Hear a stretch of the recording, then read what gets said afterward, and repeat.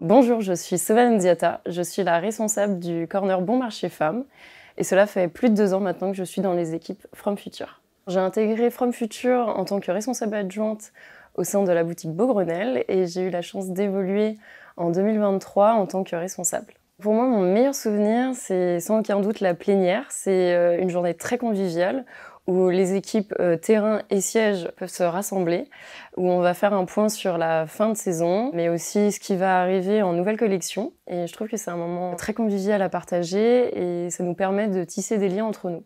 Une des valeurs qui pour moi est primordiale va être la valeur de la confiance, puisque je la ressens au quotidien, que ce soit avec euh, mes collaborateurs, mes managers, en passant par l'équipe euh, visual merchandising, l'équipe euh, ressources humaines ou marketing. Je me sens écoutée, euh, autonome et en même temps accompagnée si j'en ai besoin.